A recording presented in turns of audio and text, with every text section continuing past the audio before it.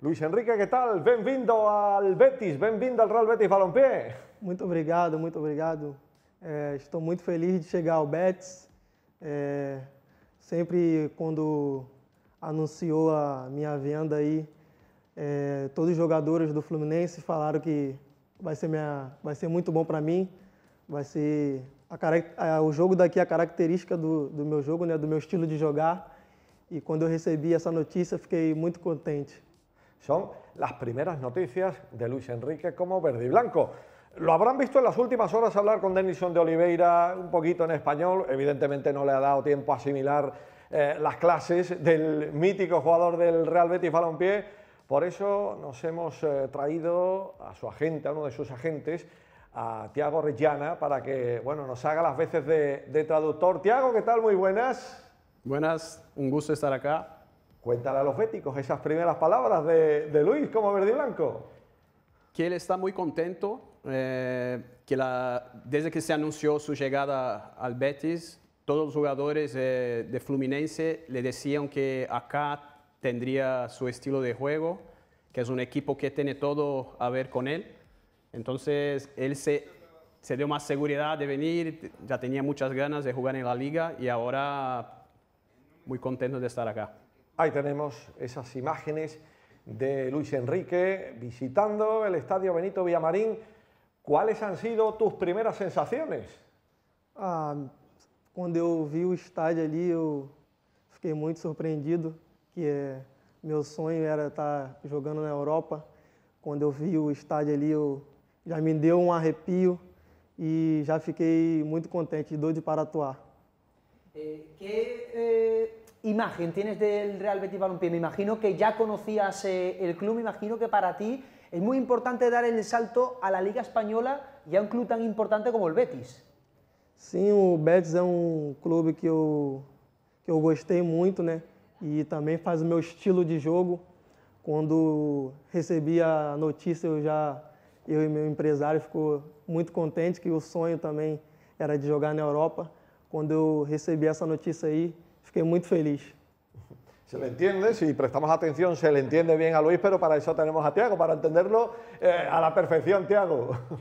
Sí, eh, eh, cuando se anunció su llegada, él se quedó muy contento porque, de nuevo, es, es un estilo de juego que juega el Betis, la manera, lo, lo, los hinchas y todo, que se tiene mucha, muchas ganas de, de, de estar acá. Y antes dijo también que cuando llegó en el estadio se sintió una sensación así muy especial, eh, se imagina jugando ahí y no ve la hora de, estar jugando. Tiene eh, Luis Enrique 21 años, pero eh, ha demostrado un nivel futbolístico espectacular. Eh, lo demuestra, sin ninguna duda, la despedida que le tributaron los aficionados del eh, Fluminense. Enseguida vamos a ver ese momento porque está claro que en dos temporadas en la élite se ha ganado el corazón de los aficionados. Ahí tenemos algunos datos. El DNI futbolístico de Luis Enrique Andrés Rosa da Silva, zurdo, 21 años, 1,82, nacido en Petrópolis y ahí tienen los datos de su última temporada y la posición en la que se suele desenvolver. Enseguida le vamos a preguntar por eso, por su fútbol, pero compañeros, a ver si podemos ver esas imágenes de, esos momentos emotivos que, como decimos, demuestran que ha calado en la afición del, del Fluminense. Vaya emoción. Muita Luiz. emoção, muita emoção. Quando eu, eu- o meu sonho era ver a torcida assim no Maracanã lotada, gritando meu nome. Quando eu vi isso ali, eu me emocionei muito, fiquei muito contente. Quando eu vi também meus companheiros me jogando para cima, é, não sonhava, eu não sonhava os meus jogador, os jogadores do meu time fazer isso para mim, mas quando eu recebi esse carinho, eu fiquei muito feliz e me emocionei. Fue un día muy especial eh, que de verdad no esperaba esta, como este homenaje que, que hicieron los hinchas, los jugadores, eh, que se sintió así muy, muy emocionado y de verdad fue un día muy especial que va a llevar eh, por toda su vida. Es despedida, Pedro, sin ninguna duda, de, jugador que, que, que, bueno, que ha marcado eh, ya bueno, pues, el corazón de, de, los aficionados. Por eso, por su tremenda evolución, es que estamos hablando de un jugador de 21 años que ya ha demostrado muchas cosas en la liga brasileña. Expertos en el fútbol internacional como Maldini o grandes del fútbol como el mismísimo Ronaldo Nazario, pues eh, han dicho eh, lo que escuchábamos anteriormente, que tiene un futuro espectacular. Hemos visto imágenes de eh, bueno, algunas de las jugadas más destacadas, pero vamos a preguntarle al protagonista, Luis. ¿Cómo eres como futbolista? Los béticos tenemos muchas ganas de verte sobre el campo, sobre el terreno de juego. ¿Cómo te describirías tú como jugador? É, me descrever como jogador do, do Betis agora. É, o seu estilo de jogo. Estilo como, de... Você, como, você, se enxerga assim, o seu estilo de jogo? Ah, vou, meu estilo de jogo agora no Betis vai se encaixar muito bem, porque é um time que joga com a bola e que joga para frente. É, e isso é muito bom para mim, que, que eu gosto muito de jogar com a bola, gosto muito de ir para cima. E o meu jogo aqui no Betis vai encaixar muito bem. Estamos vendo imágenes de, de los goles, Thiago. Sí, eh, que piensa que su, su, estilo de juego te va a encajar muy bien con el estilo de Betis porque es un jugador que juega muy, de manera muy ofensiva, siempre intentando driblar lo, su, su, su, adversario y piensa que tiene todo para ser un, una mezcla perfecta. Que decían los analistas que, que Luis Enrique tiene también gol. Sim, sim, é. Falou de gol, né? Falou que você também, os analistas falam que você também tem como fazer bastante gol. Sim, é, eu também tenho uma característica boa que eu, nesse ano eu consegui aumentar mais ainda, que é fazer gol. É, também tenho bastante tranquilidade para dar assistência, passe para gol. Mas aqui no Betis eu vou conseguir também fazer bastante gols. Y me imagino, eh, Luis, que eh, para de, ti... Un poquito de orden, Pedro, que nos hemos Ay, perdón, perdón. es que yo tengo, yo tengo el B1 del brasileño y yo medio que lo entiendo. Claro, claro, claro. eh, que esta temporada mejoró mucho sus números, principalmente marcando más goles, pero piensa que, que acá en Betis tiene como mejorar más y también hace muchas asistencias. Dijo que también tiene tranquilidad para, para dar los pases para gol también. Entonces, piensa que acaba de evolucionar mucho. Y que futbolistas tan importantes para eh, la historia del fútbol y de Brasil como eh, Ronaldo, como Denilson, hablen tan bien de ti, eh, me imagino que para ti es un orgullo tremendo, ¿no? Sim, ah, os jogadores, tipo, jogadores como o Ronaldo Fenômeno, o Denilson falando super bem de você, assim, é algo muito bom também para você, para te dar confiança, né? Sim, sim, quando os caras assim é, que tem muita história fala de mim, assim, eu fico bastante orgulhoso.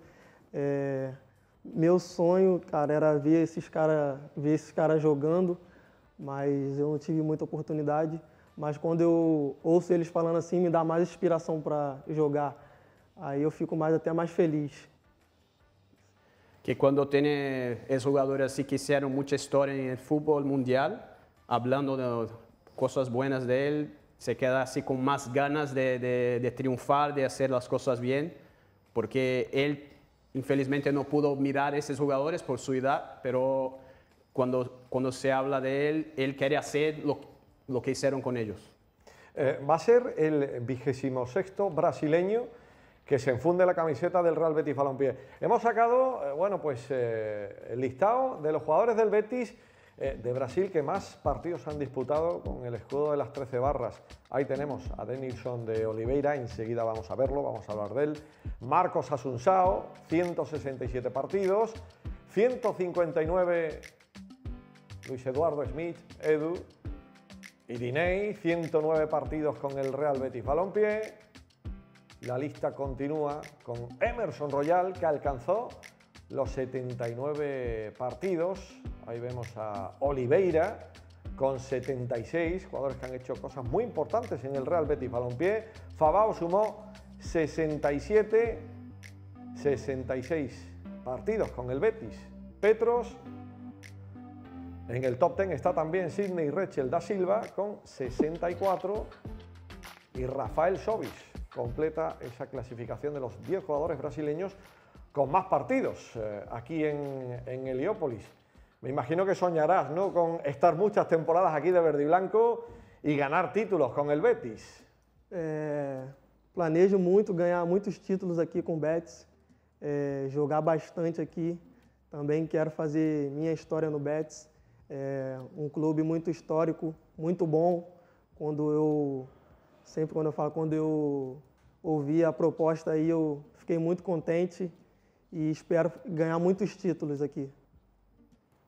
Que tiene muchas ganas de, de cosas bien en, en el Betis. Eh, ojalá ganar títulos también, hacer muchos partidos y seguro que se quiere quedar un buen tiempo acá y hacer historia en un, un club tan, tan importante, tan histórico también. Eh, has estado con Denilson recientemente. Sim, sim, eu estava com o Denilson, é, fiz uma entrevista com ele no, lá no Rio de Janeiro. Ele me deu bastante conselho, é um cara muito brincalhão. Falou para mim vir para cá com um coração tranquilo, que aqui eu vou receber boas pessoas, bom, bons amigos, que vai me ajudar bastante. Tenemos el momento, ¿eh? ese momento en la televisión brasileña del encuentro entre Luis Enrique y Denilson de Oliveira. Palavras importantes. Palavras? Bom, tem algumas coisas que você precisa entender. É tequeiro. Tequeiro. O tequeiro, irmão, você vai usar muito. Tequeiro. Buenas, quando você chegar no vestiário, você fala buenas. Que você tá tipo, boa tarde, bom dia, boa noite. tá. Buenas. Não precisa falar buenas tardes, buenos dias. É buenas. Já vai, ele já vai estar cumprimentando. O que mais? É, tequeiro. É, vamos a salir. É, a a, donde é na discoteca. Donde é- Mentira, tô zoando. Coisa. Olha aqui, ó. As patinhas limpinhas, vem pro morro do sapo. As patinhas limpinhas, as patinhas Agora, agora, solta, agora é noitada. Agora é noitada. Aí já é. De novo, de novo. Vai, já é. A batinha. Vem pro morro do sapo. quebrei. Patinha, quebrei também já. Patinha, nossa. Eu já quebrei já. Aí já vai nas ideias, né?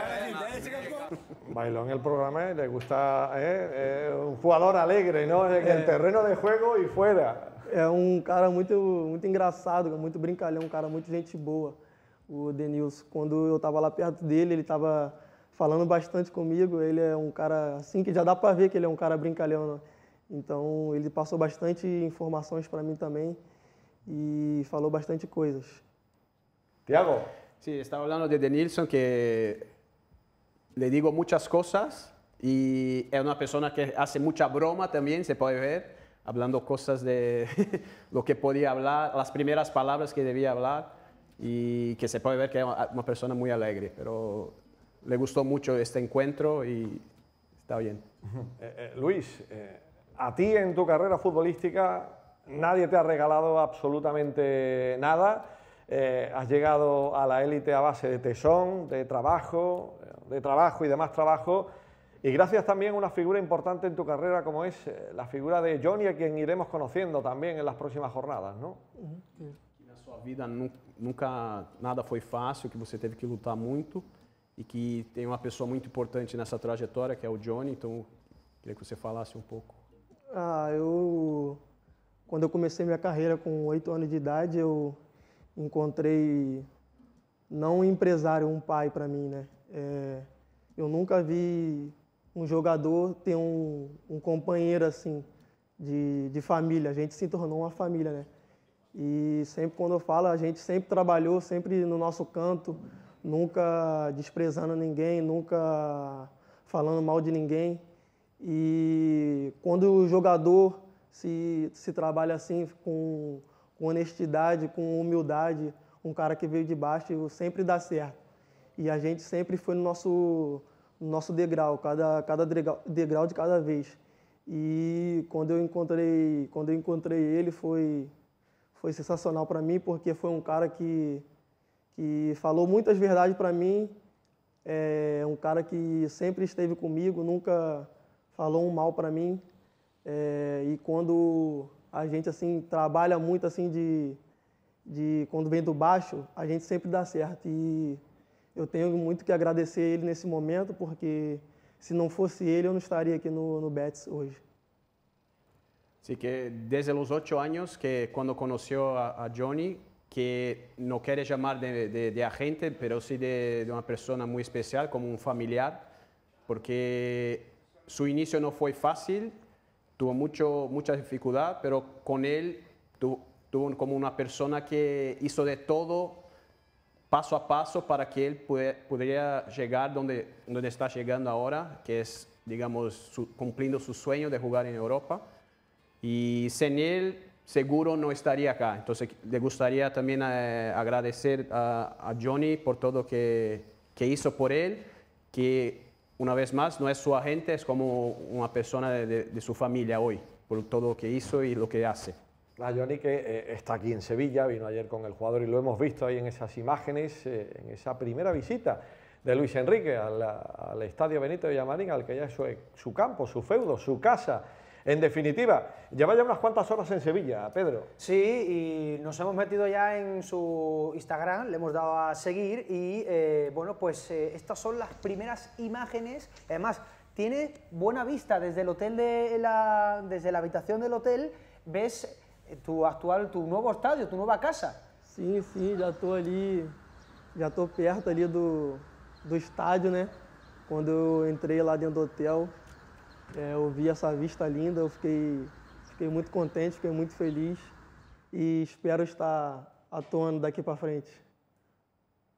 Así que, así que entró en, en su habitación en el hotel, miró lo, lo estadio y está- ya estaba ahí imaginando cuando estés jugando ahí. Está muy contento y es todo muy, muy lindo, muy bello.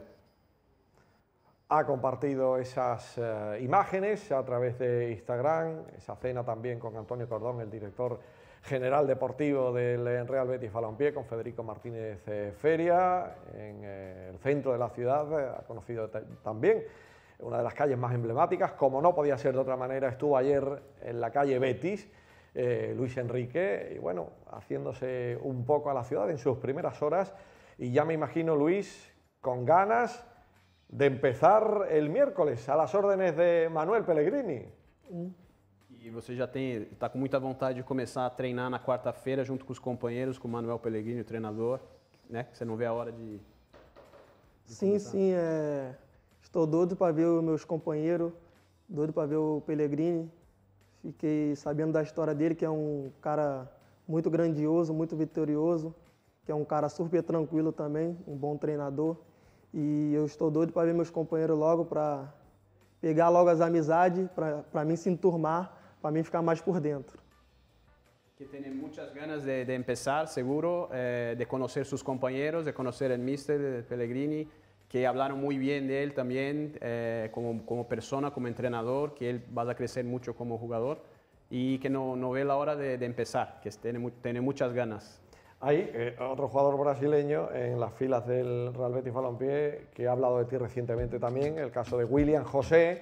Eh, fíjate, habla de Luis Felipe y de Luis Enrique. De ti dice que eh, le ha sorprendido tu madurez en el campo y el desparpajo a la hora de, de encarar eh, a los rivales. Decla- Declaraciones también de William José al diario AS en relación a las dos últimas incorporaciones del Real Betis Balompié. Ya saben, hemos abierto el programa con el anuncio del fichaje de Luis Felipe y aquí tenemos en plató a Luis Enrique, a quien vamos a despedir y vamos a desearle toda la suerte del mundo. Mucha suerte, Luis, en el Real Betis Balompié. Tu suerte, sin ninguna duda, será la nuestra y evidentemente te deseamos lo mejor. Muita sorte, Guilherme. Então, desejando mu- maior sorte do mundo né, nessa nova trajetória e que estão todos torcendo por você. Muito obrigado. é, também estou muito feliz de estar aqui no Betis. é, espero fazer uma temporada aí muito boa junto com os jogadores, ganhar bastante títulos e, se Deus quiser, vai dar tudo certo aqui. Gracias, Luis. Muitas graças. Y gracias, Tiago. Muchas gracias. por eh, hacernos de traductor improvisado aquí en esta primera parte de Todo al Verde. Alto en el camino, hemos empezado fuerte, ¿eh? con el fichaje de Luis Felipe, aquí hemos tenido a Luis Enrique, alto en el camino y todavía tenemos muchas más cosas que contarles aquí en Todo al Verde, en Betis Televisión.